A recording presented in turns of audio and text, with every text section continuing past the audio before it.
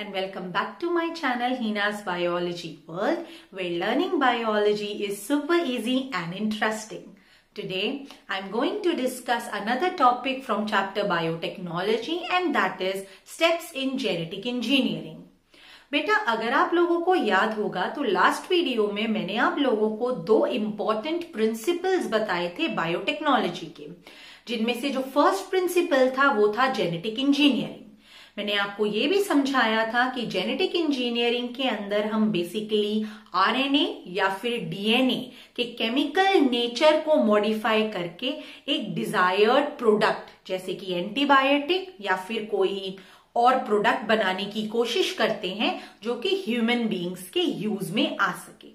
तो आज मैं आपको उसी जेनेटिक इंजीनियरिंग के अलग अलग स्टेप्स बताने वाली बेटा, अगर आप ध्यान से देखेंगे तो आज मैंने अपने बोर्ड पर सिर्फ़ चार की पॉइंट्स लिखे हैं। कोई भी एक्सप्लेनेशन नहीं लिखा। ऐसा क्यों?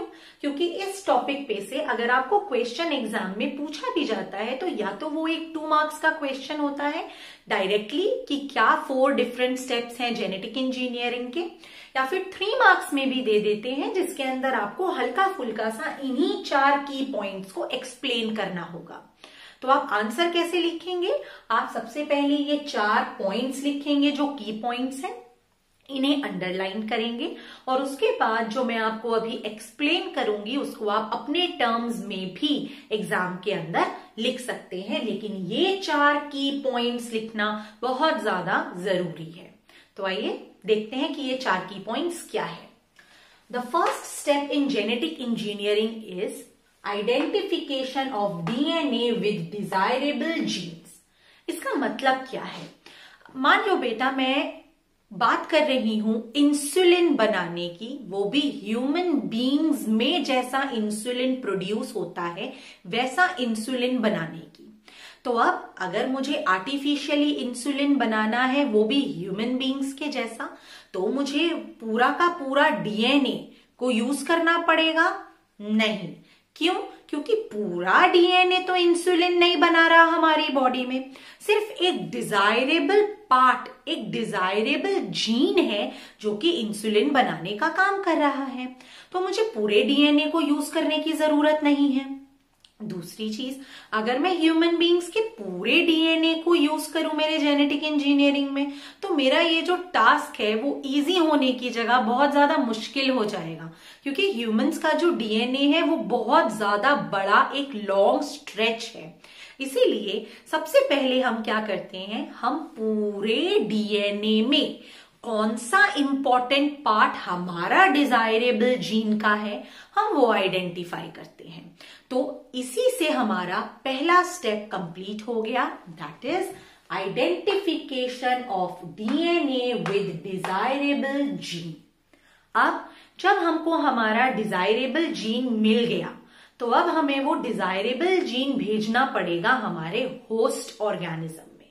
बच्चे, यहाँ मेरा होस्ट ऑर्गेनिज्म से मतलब है एक ऐसा माइक्रो ऑर्गेनिज्म जो कि इजीली मेरे डिजायरेबल जीन को अपने डीएनए के साथ कंबाइन करा ले और कंबाइन कराने के बाद जब जब वो अपना डीएनए रेप्लीकेट करे, तब तब वो मेरा डीएनए का डिजायरेबल पार्ट भी रेप्लीकेट करे। तो नेक्स्ट स्टेप में क्या होगा? That we will introduce our desirable DNA into the host organism and we will form a different type of DNA which is known as R DNA where R stands for recombinant. Recombinant का मतलब ही ये है कि कुछ नया combine करना। री मतलब दोबारा कॉम्बिनेंट मतलब कंबाइन करके बनाया हुआ प्रोडक्ट बेटा, अगर आप ये डायग्राम को ध्यान से देखेंगे तो मान लो कि ये है ह्यूमन बींग्स का डीएनए जिसमें से मैंने वो डिजायरेबल जीन को सिलेक्ट किया, जो कि बेसिकली क्या जीन था? इंसुलिन प्रोड्यूस करने का जीन था। अब उस जीन को मैंने होस्ट ऑर्गेनिज्म में डाला। होस्ट ऑर्गेनिज्म ने अपने डीएनए के साथ मेरे डिजायरेबल डीएनए को कंबाइन कर लिया, जिसकी वजह से क्या बन गया? एक रिकॉम्बिनेंट डीएनए मतलब कि एक आर डीएनए बन गया। अब जब मेरा डिजायरेबल जीन आइडेंटिफाई हो गया, उसको मैंने रिकॉम्बिनेंट डीएनए बना दिया। अब बारी आती है जीन क्लोनिंग की। जीन क्लोनिंग जीन मतलब कि जीन्स क्लोनिंग का मतलब है क्लोन बनाना.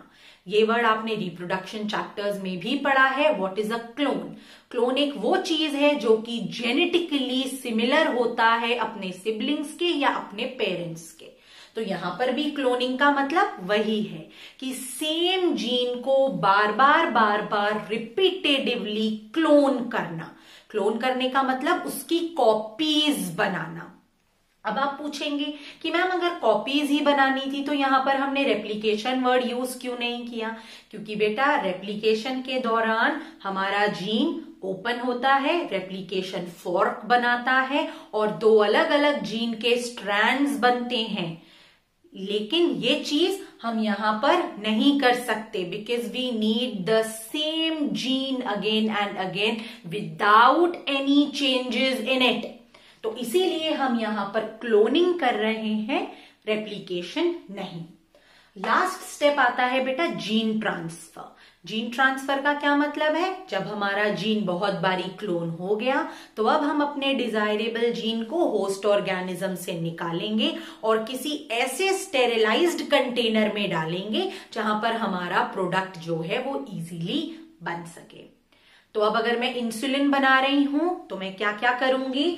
सबसे पहले मैं ह्यूमन डीएनए में से डिजायरेबल डीएनए को आइडेंटिफाई करूँगी और उसको निकाल लूँगी। उसको निकाल लेने के बाद उसको होस्ट ऑर्गेनिज्म में डालूँगी और रिकॉम्बिनेंट डीएनए बना दूँगी। ये रिकॉम्बिनेंट डीएनए खुद को बार बार बार बार क्लोन कराएगा। तो मेरा जो डिजायरेबल डीएनए था, उसकी भी नंबर ऑफ़ कॉपीज बढ़ जाएगी। नंबर इंक्रीज हो जाएगा। नंबर इंक्रीज हो जाने के बाद मैं वो सारा का सारा डीएनए ट्रांसफ़र कर दूँगी किसी ऐसे सूटेबल कंटेनर में जहाँ पर मेरा फाइनल प्रोडक्ट बनकर रेडी हो जाएगा that is insulin this was the complete process step wise for genetic engineering finally बेटा, मैंने एक नोट लिखा है। नोट से says Stanley Cohen and Herbert Boyer in 1972 constructed first RDA आपसे एग्ज़ाम में ये चीज़ कोई भी नहीं पूछेगा but why it is important it is important because PMT में आपसे ये साइंटिस्ट के नाम या फिर ये ईयर पूछा जा सकता है so two scientist Stanley Cohen and Herbert Boyer they produced the first recombinant DNA when in the year 1972. This is all for today's video. Thank you so much and yes, keep learning biology.